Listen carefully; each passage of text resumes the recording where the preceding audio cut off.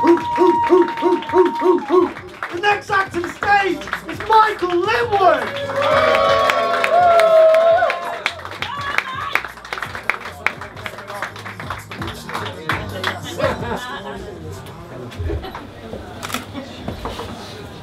All right. Nice to be back in Leeds. I, uh, I almost mean that. Did, did it in Darlington just before Christmas, and I said, oh, it's nice to be back in Darlington. And they all just looked at me really weird. Apparently, no one's ever said that before. well, nice to be here. Thanks for coming out. This would be fucking terrible without you. Might be terrible with you, very much depends on me, I suppose. I do appreciate you coming out, because uh, if I wasn't doing this, I wouldn't have bothered. it's nothing personal, nothing about this place or anything. It's just I would quite happily hibernate from November till the end of January, beginning of May. I just not because I'm antisocial and miserable, and uh, I don't like celebrating Christmas, New Year, my birthday, my wedding anniversary. Uh, I am all of those things, but it's not because I. It's because I actually suffer from uh, seasonal affective disorder, uh, which if you don't know what that is, it's like the Asda Smart Price version of a mental illness. she just makes you miserable. I'm 48. I live in Hull. fucking nice.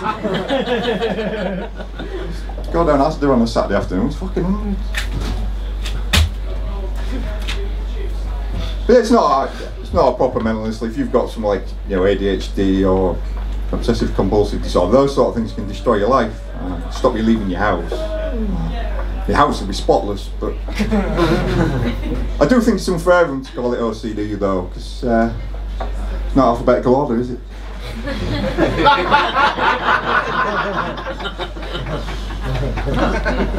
Drives you mental, doesn't it? But yeah, if you've got a proper mental illness, you can get uh, treatment and uh, therapy and drugs and things. If you've got a seasonal affective disorder, you know what the treatment is for that? Light. 200 quid for a box with a bulb in. Sorry mate, I've got a torch home. So I do this, this is my therapy, because I'm an idiot. and I think driving around Yorkshire at night and hanging around in slightly dark rooms is going to be good for me. it's not really.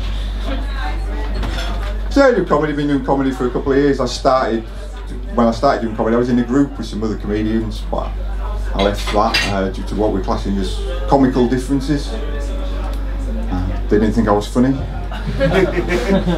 Which is fine, because I thought they were cunts.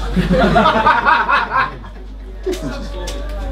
And then when I left the groups and said, oh, that you've left the group, that makes you like Robbie Williams. I don't think it fucking does. Because when Robbie left uh, Take That, he did a shitload of coke, he signed a multi-million dollar record deal, and played in front of tens of thousands of people at Knebworth. I haven't done a shitload of coke. I haven't signed a multi-million dollar record deal. My total earnings of comedy as of this morning, £513 and 50 pence.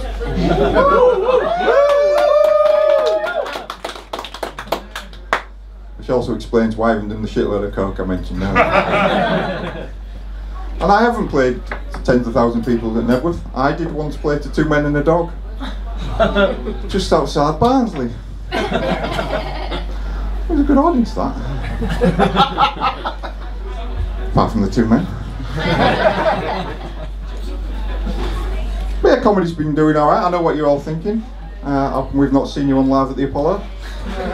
There's a good reason you've not seen me on live at the Apollo. Uh, I've not been on it. uh, the reason I've not been on it is I, I'm banned from the BBC. I, I got banned for swearing. Uh, I was on Pointless. The question was, name a famous fictional vampire. Oh, vampire's a fictional dickhead. that was my first one. I didn't want to say the obvious ones like Dracula or that one from the Twiglet films. So I said the one from Sesame Street. 100 points. He said, he doesn't count. I said, I think you'll find. That's all he fucking does.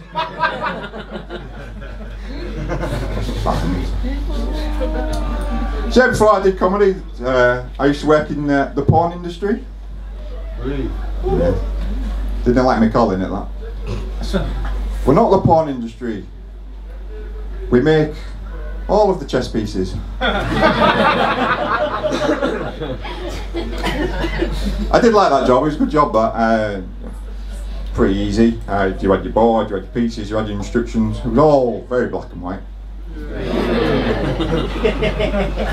well, growing up, that was fucking worse, can we? But yeah, the thing I didn't like about it is uh, you had to work shifts. It's like one week you'd be on days making rooks, and then the next week you'd be on nights. Fucking warned you. I wrote a book. I wrote a medical book. Uh, the giant book of the human body. Uh, 660 pages. Uh, 667 if you include the appendix.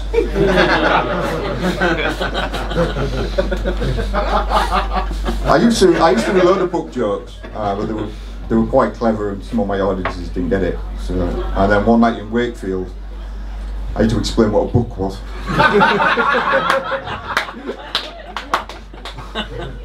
Two hours I'm not getting back.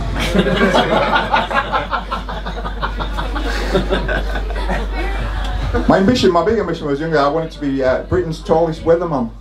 I, I auditioned, got to the last two. Uh, the other guy was six foot seven. He stole my thunder.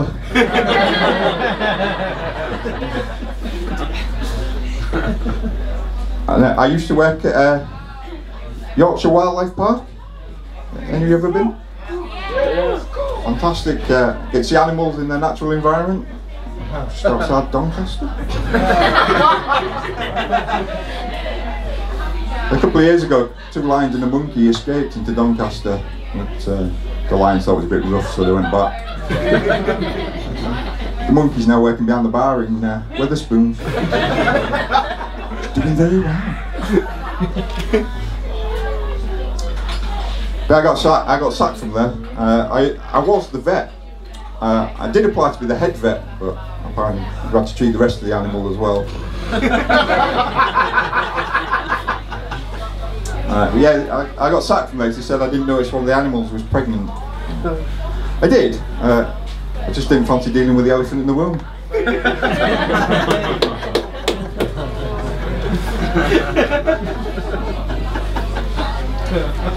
I think uh, the reason I've had all these different jobs is I didn't really have a strong sort of role model from my dad. Because my dad always kept us in the dark with what he did for him. So maybe he's a spy or secret agent. Just a really bad electrician.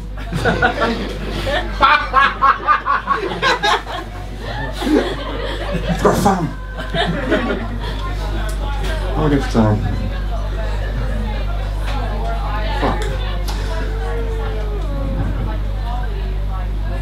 Yeah, anyway, thanks for coming out. Uh, hope you've enjoyed it. Uh, if you've enjoyed it, my name's Mike Linwood. If you've not enjoyed it, uh, my name's Amapal Singh.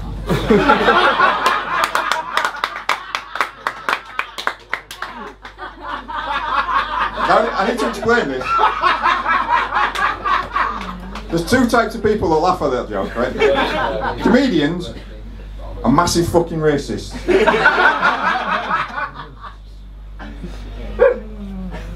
The thing with massive fucking racists is they must think that I'm a massive fucking racist to come up with that. For those of you who don't know Amapal Singh, he, I'd like to say he was a comedian. Um, unfortunately, like the turd that he is, he keeps popping back up, and he's still a comedian. Or was we in the business call him, a comedian you never trust. It's Come for shot. and it's not up to me to explain to you what he did, but if you do get the chance to run into him, third gear. If you need an alibi, give me a ring. Yeah, if you have enjoyed it, uh, yeah, Mike Linwood Comedians, yeah, leave me a bit of feedback. I am on Facebook. Uh, I've got a couple of reviews. I've got a celebrity review on there. Uh, the, the Dalai Lama said I was very funny in the previous life. My doctor came to see me once. Uh, he, he left me a review. Said, Please, please, please, get better soon. yeah, if you've not enjoyed it, just uh, you know, keep it to yourself. No the grass. Okay? but uh, there's one uh, promoter said to me once. He said, uh, when you do comedy, if you can just make one person laugh, one person smile, improve one person's day, and you shit, don't bother.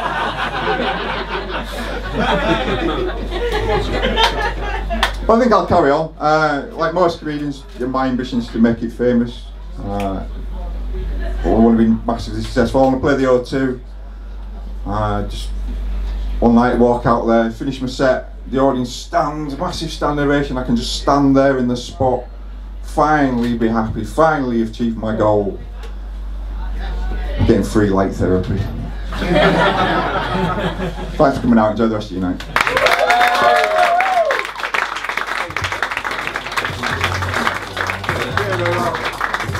Guys, give it up once more for Mike Linwood!